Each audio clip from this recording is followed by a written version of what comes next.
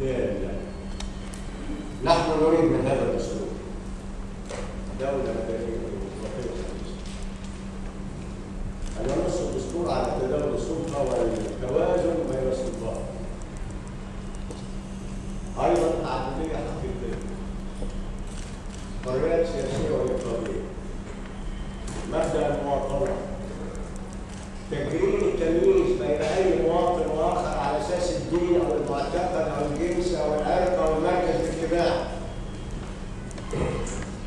الحقوق الاقتصادية والاجتماعية للمواطنين حق العمل حق التعليم حق السكن حق الرعاية الصحية والاجتماعية.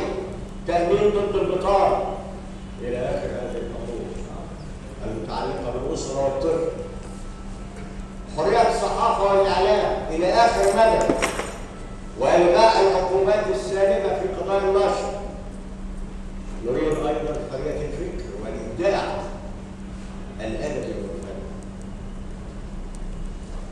لا نريد استعراضات وإنما بصراحة نقول لكم أنه إذا لم ينص هذا الدستور الجديد على حظر تأسيس أحزاب دينية وأحزاب ذات مرجعية دينية لن يشهد هذا البلد استقرارا سياسيا واقتصاديا